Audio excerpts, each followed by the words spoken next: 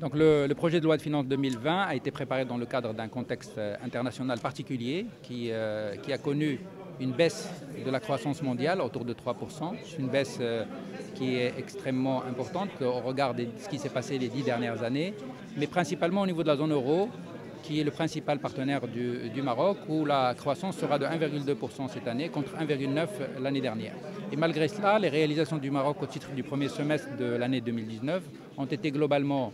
positive, puisque la croissance du PIB a été de 3,6%, euh, le PIB non agricole, avec parallèlement à une baisse de 0,6% pour le PIB agricole, ce qui fait une moyenne de 2,9% pour euh, cette année. Et nous préparons la loi de finances 2020 dans le cadre d'un certain nombre d'hypothèses qui visent une croissance de 3,7% pour 2020 et un déficit budgétaire de 3,5%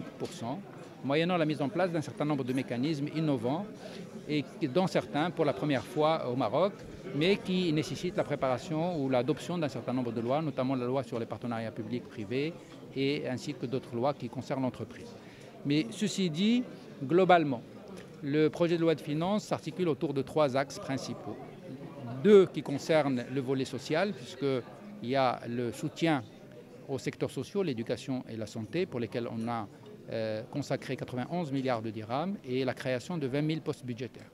Et euh, un axe qui concerne la réduction des inégalités et le soutien au pouvoir d'achat. Et pour cela, il y a 18 milliards pour les programmes nationaux, 18 milliards de dirhams qui sont consacrés à la réduction des inégalités, les programmes TISIG, l'INDH, le Fonds de développement rural, et, etc.